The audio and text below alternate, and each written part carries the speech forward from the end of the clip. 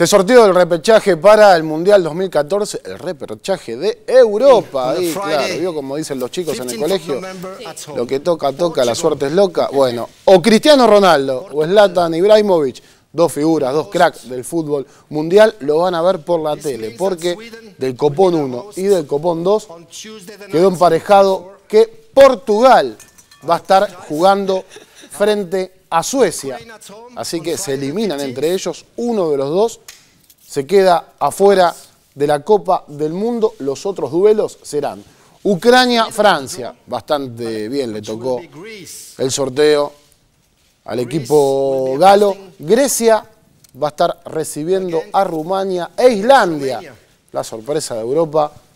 va a jugarse a todo nada frente a Croacia, la serie se van a disputar partido de ida el 15 de noviembre, el 19 va a ser la revancha y ahí quedarán definidos cuáles son los cuatro últimos boletos de Europa a Brasil 2014.